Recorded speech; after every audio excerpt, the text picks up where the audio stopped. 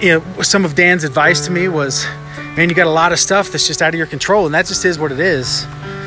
Why don't you set a crazy, audacious, scary goal that you can control, but something that, you know, to you right now seems impossible? He said, you know, what, what is that? What, what's that thing that right now feels absolutely impossible, just crazy to even think about doing? And I was like, well, I don't know, running a marathon. You know, Dan's a crazy ultra endurance athlete. I was like, you know, running a marathon sounds very crazy. First I've ever run this seven miles. He's like, well, why just do it?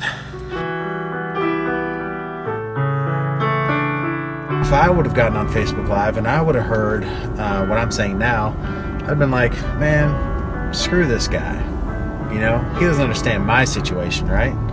He doesn't understand where I'm at. He doesn't understand understand how bad this situation that I'm in right now sucks. He doesn't understand how terrible my boss is. He doesn't understand how horrible my significant other is or how bad this situation is with my family or my job or whatever. And I could imagine some frustration there. And, and so I, I want to tell you this that, like, I, I was there. Like, I was there.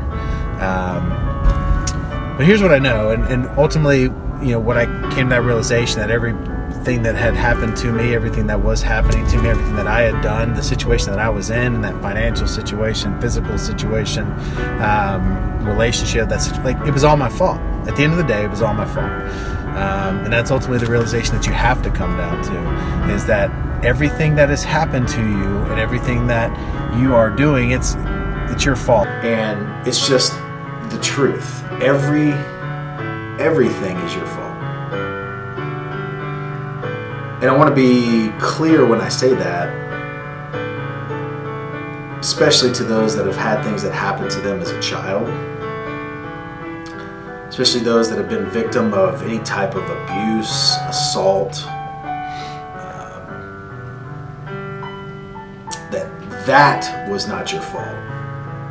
However, allowing that circumstance to still own you five years, 10 years, 20 years, 30 years later is 100% your fault. So when you realize that everything's your fault, it's liberating and it's freeing because you know that you now have the keys to those handcuffs that have been binding you for so long. When you put blame on other people, you give them the keys to your handcuffs and you're you're you have no power. You have no power. When you take ownership, which is what that is, it's taking ownership, it's taking personal responsibility, then you take back that key.